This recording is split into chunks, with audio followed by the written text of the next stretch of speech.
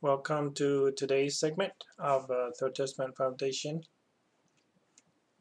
live stream.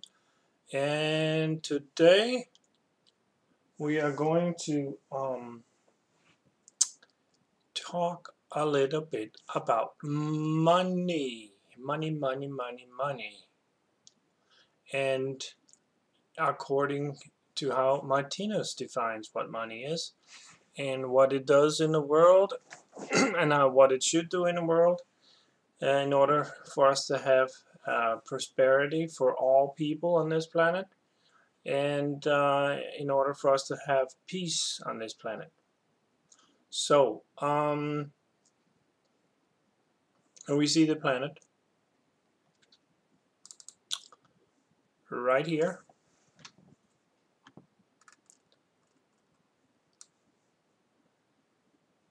Nice little blue planet here. And it's moving towards the star counterclockwise in its spiral cycle, moving from the orange to the yellow, which means from the killing principle or animal realm, animal-like area or zone of existence to the real human kingdom, or uh, where the law of existence uh, is automatic functions of all the, inhabitants on the planet. So that is the real human kingdom, right? Neighborly love reigns sovereign.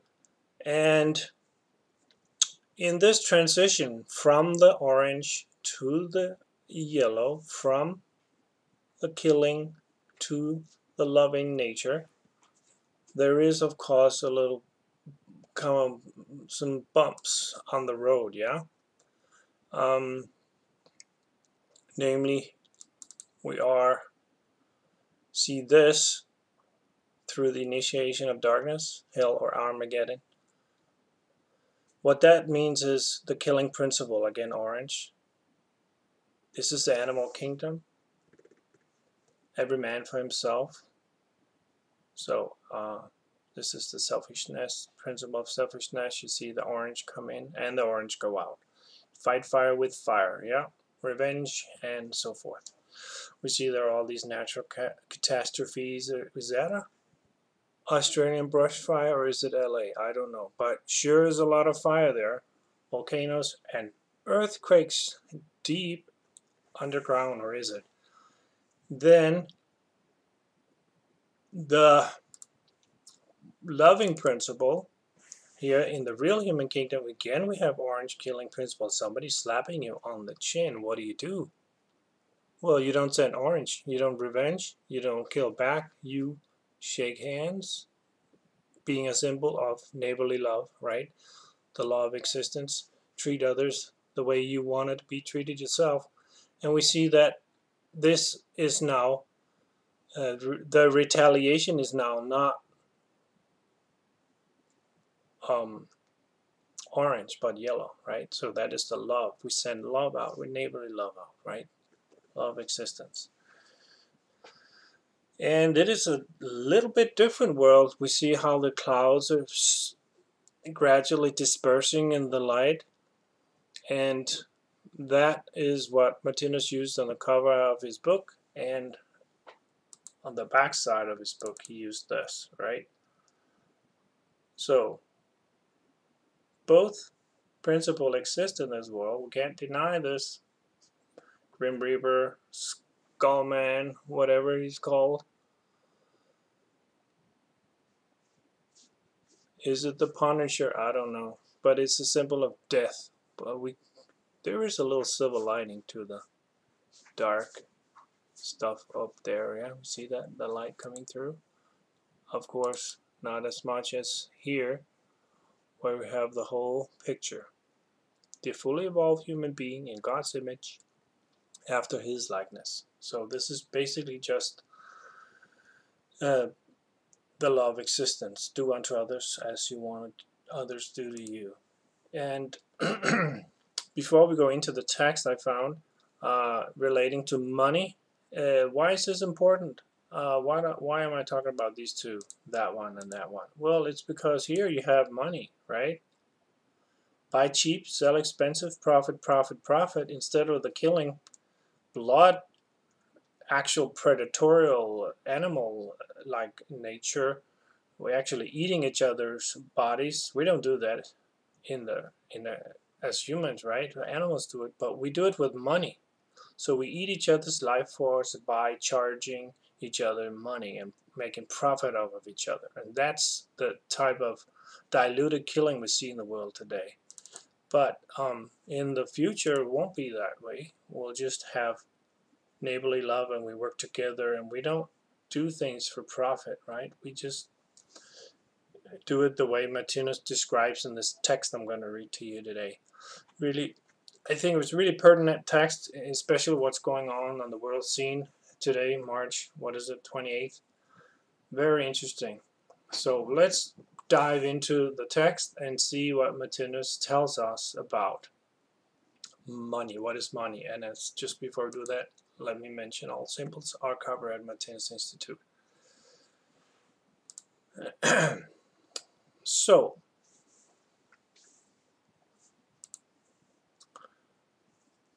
the Third Testament, Book of Life 1, sections 76 through 79 and it's I think it'll take maybe a half hour or so to read.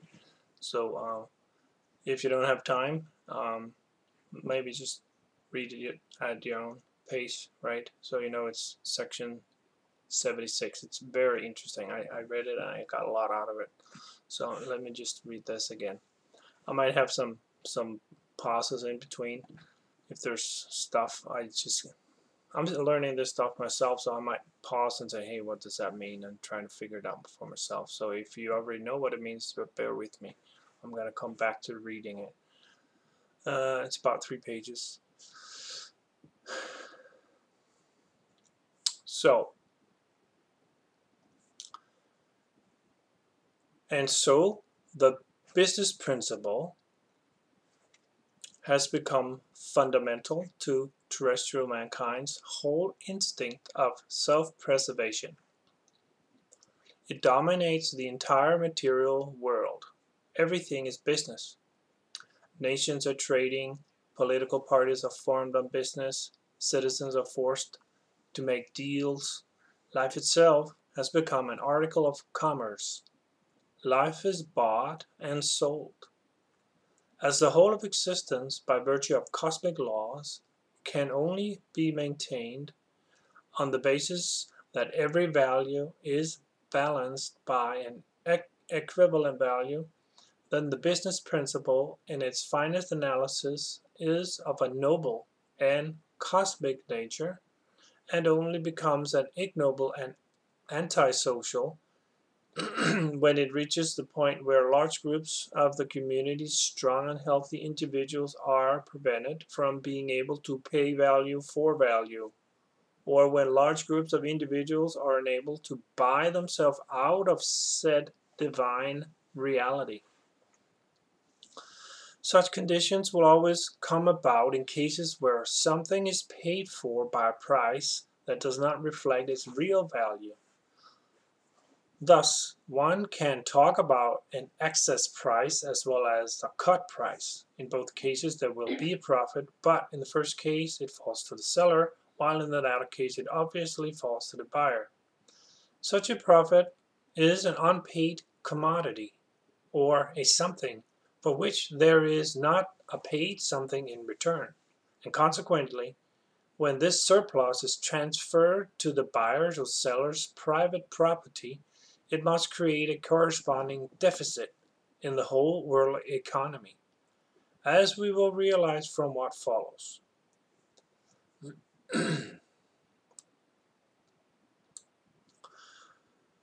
the more often that kind of depreciation in world economy takes place, the more outstanding the arrears and the the and the more accumulation of unpaid values there will be. Though this arrears is like when you owe stuff, you have loans and you haven't paid it yet, right? That's all what you owe, the arrears. Uh, let's see. So the more often that kind of depreciation in world uh, economy takes place, like when there's profit, the more outstanding the arrears and the more accumulation of unpaid values there will be. Unpaid values, right? So it's basically theft. These accumulations are again identical with all that comes under the idea of private capital. Not included in this is whatever individuals possess of daily vital necessities such as food, clothing, and shelter, for these cannot be expressed as capital until they overstep the boundaries of necessity and thereby assume the character of profit. so this is an interesting concept he, he talks about. Yeah, yeah, we have, it's a necessity, but if you have too many necessities or too many rolls of toilet paper, whatever you have like hoarded, you know, it can assume the character of profit. So this is a problem, yeah. So it comes with a, an example here. When someone has, for instance, 40 suits of clothes in the, I mean, closet, but the necessary number is only 4, the other 36 suits constitute capital. So it's like money in the bank, right? But as these 36 suits are actually quite unnecessary to the individual in question, they represent something worthless. For being private capital, they are untouchable for the rest of the community. So they're worthless to the rest of the community. They're just sitting there, 36 suits. Nobody can use them until they sit there and moth will come in and mold will rot the whole thing and they're worthless, right? The same thing is valid when an individual has an, in, an annual income of, say, 100,000 kroner. Uh, well, let's just do that. He said he writes kroner here. Kroner is a Danish currency. It's like uh, traded DKK, Danish kroner. So K R O N E R, uh, kroner. So if um, I thought about doing this and just say say dollars, um, but it's because it's uh, written in uh, I think it's like 60 years ago he wrote this stuff so probably a lot of inflation so maybe it'll fit with dollars. So um, I think it's easier to understand if I just say dollar instead of say kroner every time kroner kroner kroner kroner right? What the hell is kroner? So I'm gonna just say dollars even though it says KR right? It's just a currency marker. So the same thing is valid when, uh, when an individual has an annual income of say $100,000, while the necessary income for his healthy and cosm cosmically seen normal necessities of life in the same period is only $5,000. The remaining $95,000 is then cosmically seen unnecessary capital for the said individual at the same time as it constitutes a private capital, a corresponding deficit in the housekeeping accounts of the general community. So it's like with the suits, you know, the 95,000 you can't use. They're just sitting there. Worthless. Now, objections may very well be raised here to the effect that the private capital of such a person would, after all, benefit the community as he might give food and work to many of his fellow men.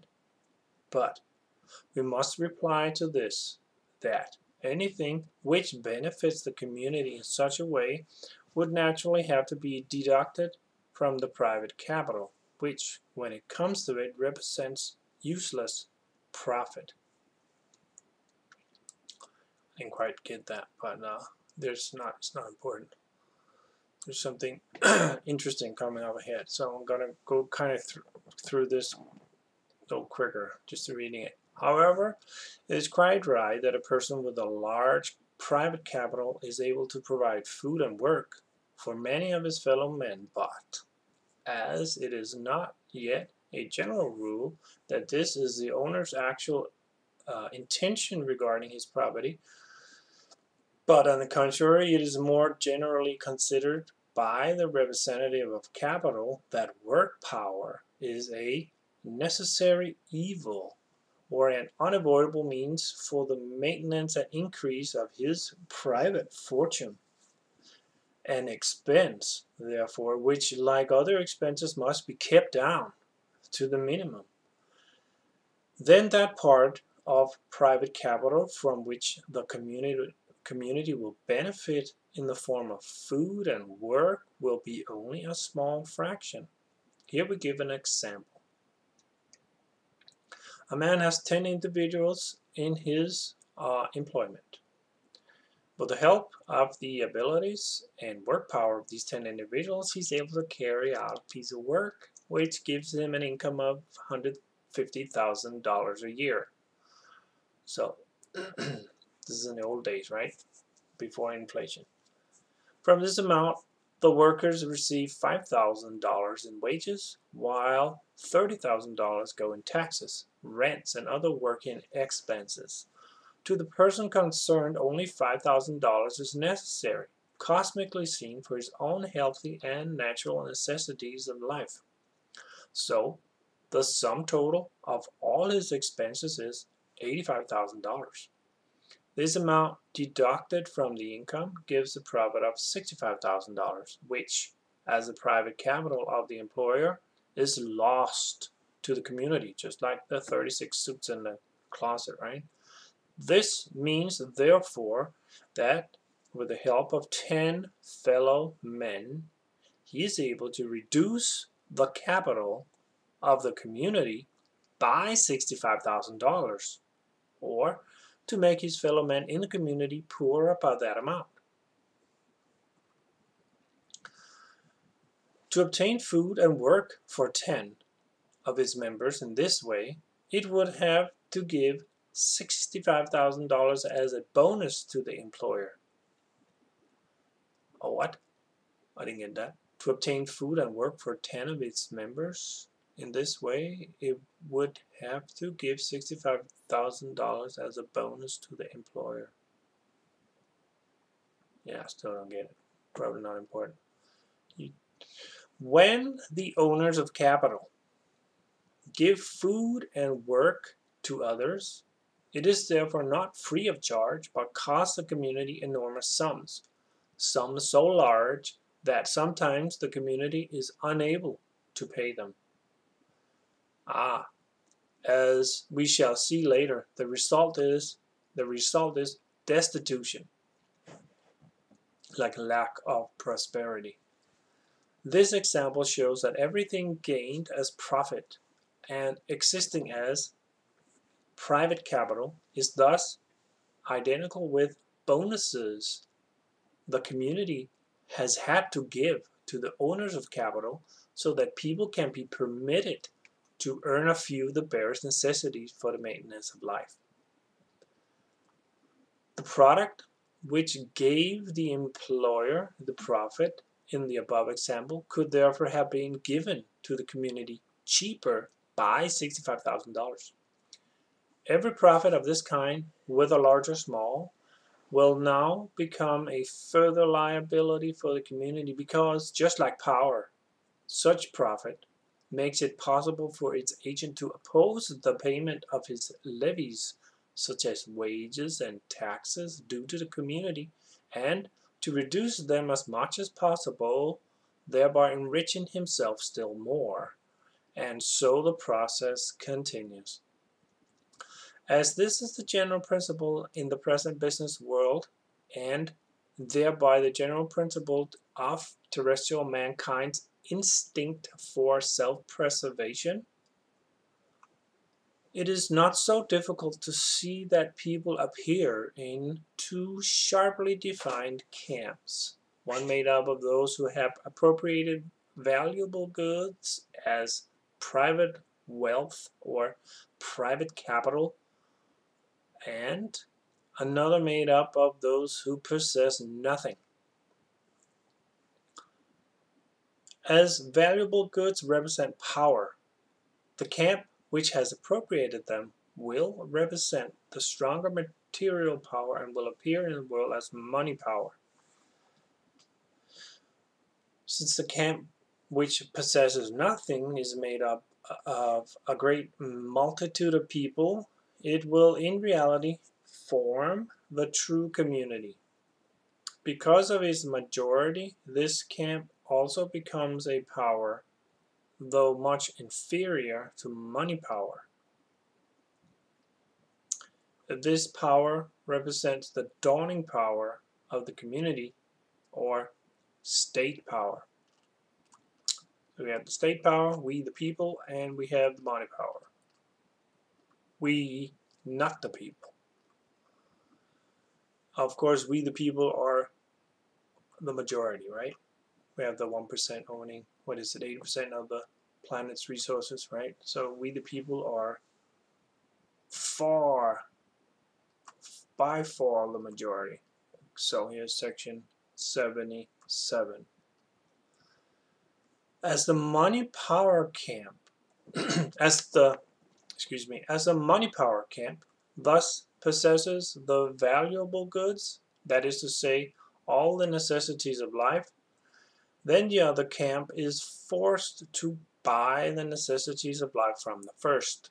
But, just as the examples showed, the people with the money power are not interested in this kind of trade unless it is based on acquiring new valuable goods, and that can only take place by overcharging. As the people from the opposite side have basically nothing to offer but their skill or work power in exchange for their necessities of life, and the other people must receive from this payment an access price, the result will be, therefore, that any work done can only be bought by money at a cut price, and that any necessities of life, according to the above, can only be sold at an excess price. So this is the killing principle, right? Uh, every man for himself, the orange killing principle, not the yellow neighborly love one. The result of this is that the valuable goods or necessities of life will inevitably accumulate in one of the communities above mentioned two camps, while at the same time they will disappear from the other one, which again causes superabundance, greed, and idleness in the former camp, and poverty, malnutrition, and servitude in the latter. But as poverty, malnutrition, and servitude are identical with ruin, the facts mentioned here mean that one part of society is undermining the other. The whole of the terrestrial community is sapping itself. I thought that was interesting. You know how they had in the 1800s, the 1900s, the when they had the war and they're kind of one army had uh, surrounded another army in a fort in order to get closer. They would sap these underground, half underground trenches to uh, get closer to the enemy. So it's sapping itself, right? Undermining itself. The whole terrestrial community is sapping itself. It's not working together, it's working against each other. So everything which comes under the concept of wealth, greed, and idleness constitutes then good fortune, which definitely can only be maintained on the basis of the ruin of the community. So what's the solution? I wonder. How do you get from orange to yellow? From killing principle, money to the love principle, unconditional love principle, all love principle, which is the real human kingdom. What do we use there? Do we still use money or what do we do there? So, section 78. But as life in its divine nature is uh, beyond ruin, the community cannot die. Only a system can die. The present system of the community is thus dying and annihilating itself. This is all the more noticeable now for the general principle for the general principle in the present order, the system we have now, does indeed mean that any terrestrial person coming into the world without being heir to capital, and that's the majority, right, will be an oppressed person or someone who in reality is subject to the power of money. And as such in the form of slavery is forced to pay an excess price for his existence. In other words, his daily necessities of life. But as every kind of life is searching upwards towards freedom and light, so every form of oppression will animate a struggle against the yoke, the leash, right? The weight bearing on the shoulders of these people being enslaved by the monetary system. And this means for fighting against terrestrial mankind's material oppression, in the first instance, will be money. I'm going to read that again. I didn't get it. And the means for fighting against terrestrial mankind's material oppression in the first instance will be money. Okay, so we use money to fight against it, the slavery. With money, one can buy oneself out of money power, servitude, and oppression. The most important or most central factor in the terrestrial community's consciousness will therefore be money. According to how much money one has, one is free.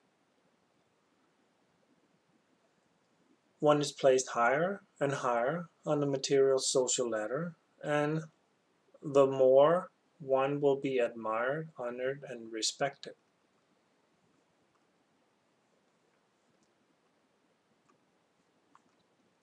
So to be the owner of a fortune constitute an ideal for terrestrial people.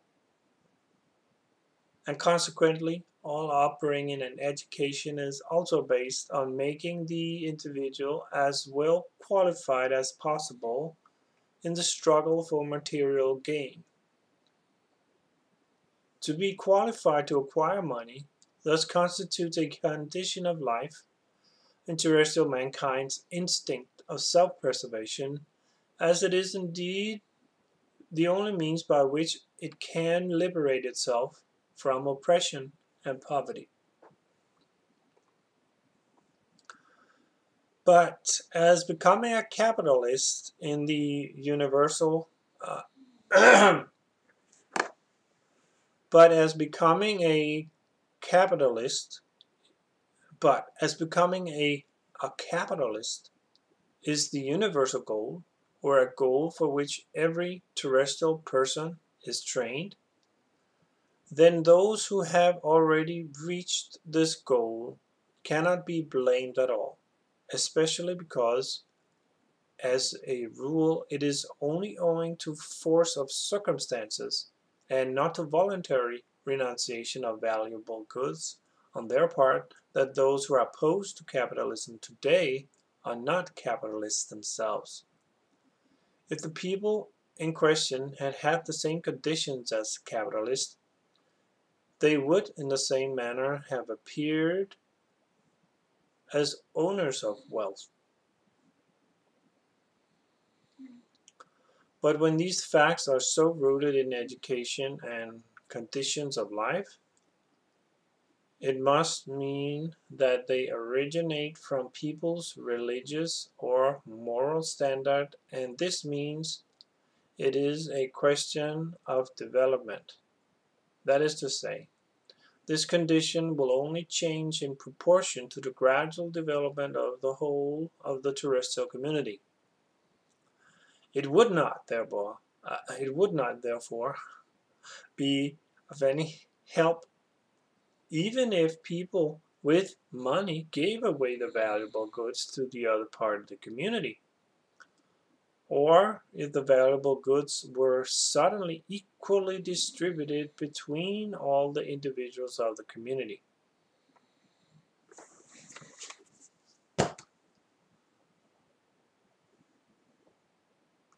Before a day had passed,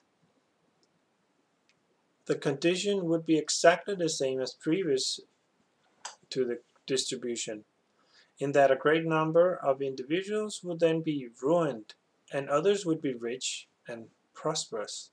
The real fact of the matter originates in the whole of terrestrial humanity not yet having entirely grown away from the animal kingdom. And to the same degree as it has not grown away from this kingdom, so this is again the orange, right? Orange zone uh, symbolized by orange in the symbol.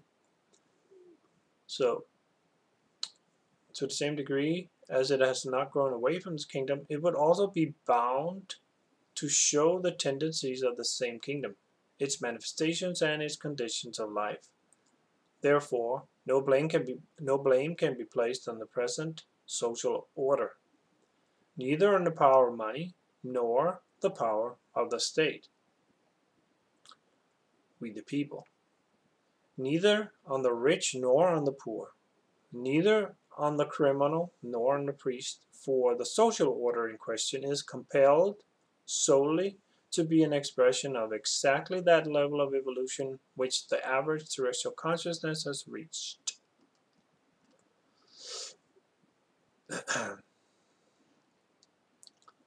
Just as we cannot demand that a four-year-old child should manifest anything but the behavior of a four-year-old child and an 80-year-old person be the behavior of an 80-year-old person, so one should not demand either that the whole of terrestrial humanity should manifest a higher step in evolution than that which it has reached so far, and which is precisely and fundamentally expressed by its present condition of life and social position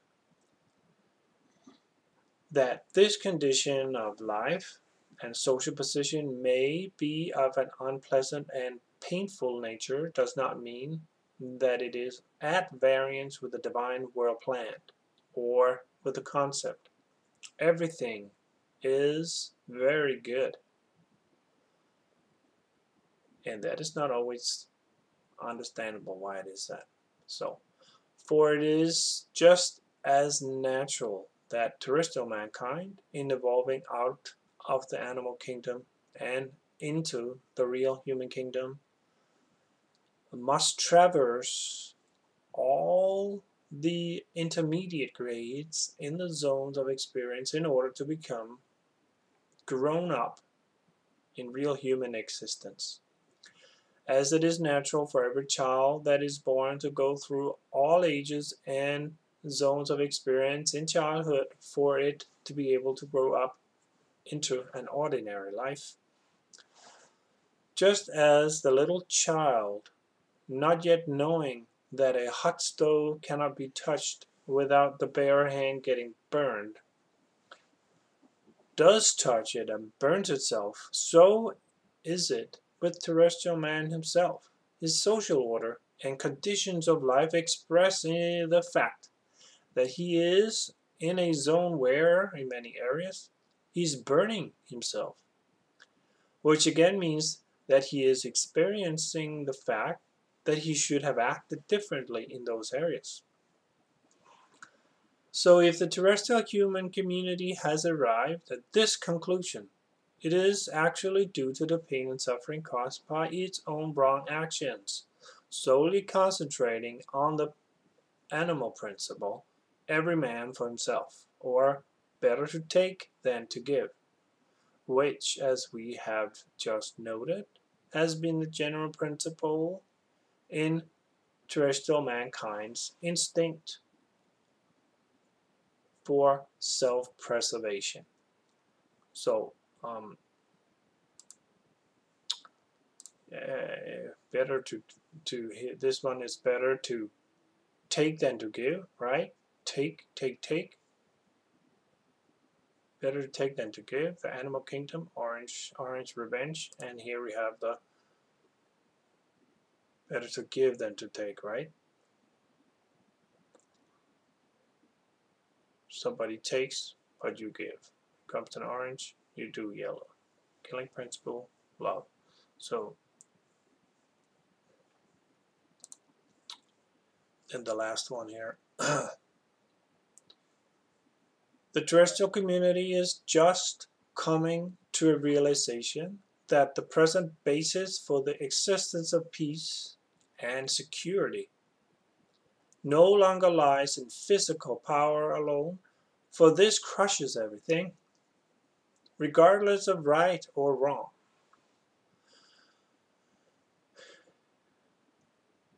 But that this physical power, on the contrary, when inextricably bound up with right, will prevent all forms of dissension, war, and mutilation. The knowledge terrestrial mankind is gradually acquiring through its dark experiences will then, in the very highest degree, animate a combination of physical power with real right, righteousness, and morality, and with the law of existence itself. Right? More blessed to give than to take or do unto others like what others do to you. And I think that's the same, right? Could you rather have people give you stuff than they take from stuff from you, right? So it is more blessed to give than take is is the same uh, as the do unto others as you want others to do you, unless you're like sadomasochistic or something like that, right? So law of existence. More blessed to give than take. so the road to the great peace thus goes exclusively through this association of right with might.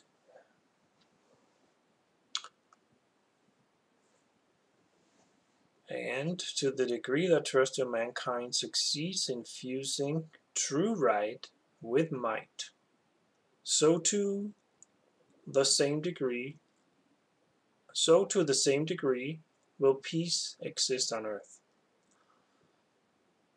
So, when we have a state power representing we the people, and that is a true right, that means uncorrupted state power. Then the state power also have the might, the military enforcement the leg of the governance.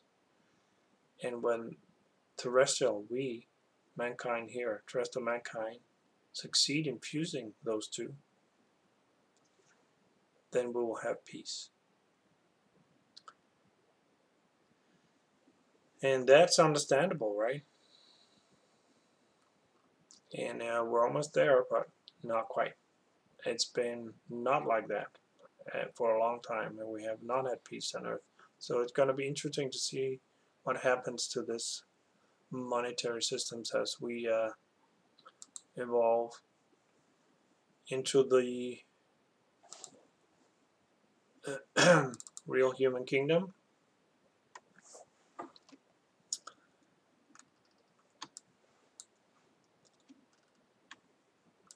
So we see how it's a gradual movement towards the star here.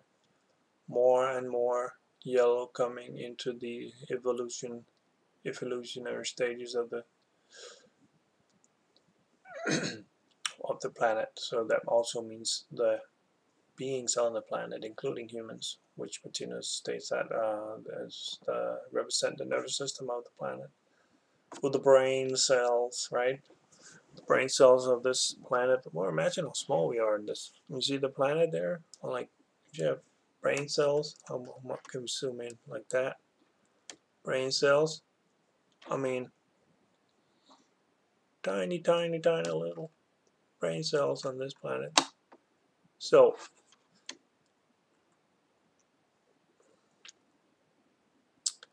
we're going to figure it out, yeah, with this monetary system to make it a fair system. And uh, I think it's something with that you can only pay with, you cannot pay with money. You can only pay with the the hours that you have actually worked doing something that uh, creates some kind of a product that people want. You know, you, you can't just live off of other people's work. So I think that's uh, because it's taking, right? And that's animal kingdom. So we need to get into this system where we are um, giving. So how do we incorporate that into a fail-safe monetary system that you just have to give, otherwise, you know, you, you,